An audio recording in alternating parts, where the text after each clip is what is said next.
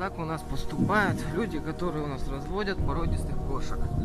Кошка уже неизвестно сколько висит, да, а как мы видим за окном, вторая уже с голоду начинает ее подъедать.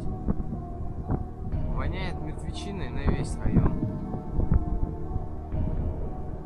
Вон, видим, второй котенок сидит, который также не так давно кушал эту кошку. Происходит это все по адресу Мельникайте 133. На ранее эту квартиру уже было подано в суд.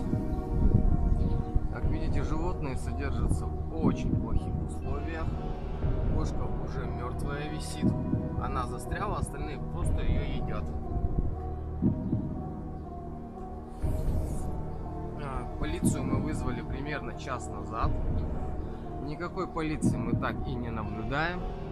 Но, скорее всего, сейчас могут уже подъехать хозяева. И чтобы зафиксировать все это, мы поступаем следующим образом.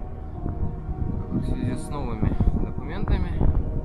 Видите, какие кошки замученные. Особенно вот сидит худющая. Глаза у нее все грязные. Фотографии будут приложены ниже. Давайте проверим. Ноль эмоций.